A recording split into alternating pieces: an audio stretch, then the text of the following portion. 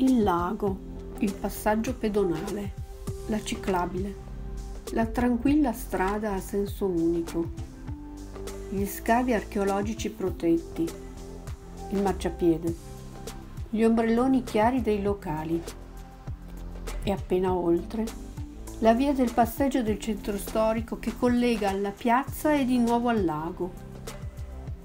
Vivo l'interpretazione onesta dell'abitare sono ad Arona, sulla sponda piemontese del lago Maggiore.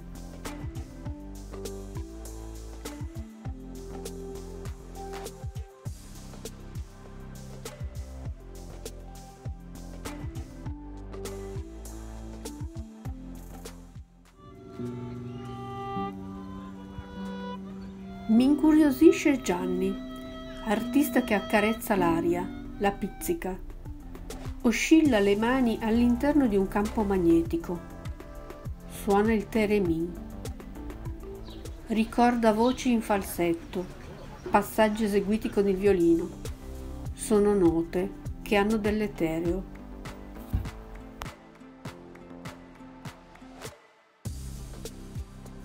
Mi fermo su di una panchina, ancora accanto a un musicista, ma sono attratta dall'acqua, dal vento che muove le vele, dal battello in secca, dai gabbiani. Soltanto quando chiudo gli occhi distingo la chitarra e guardo l'uomo che la tiene a tracolla. Canta, guarda il lago e sorride, come se fosse di fronte a una folla.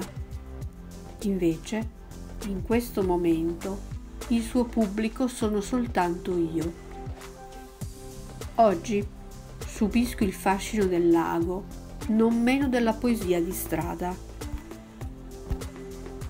Prima di allontanarmi, lascio scivolare in una custodia una manciata di monete. Jack, il suo nome è scritto a mano su di un foglio, interpreta un brano degli anni 70 con arrangiamento buone maniere. So far tutto, o forse niente, da domani si vedrà. Grazie e sarà quel che sarà.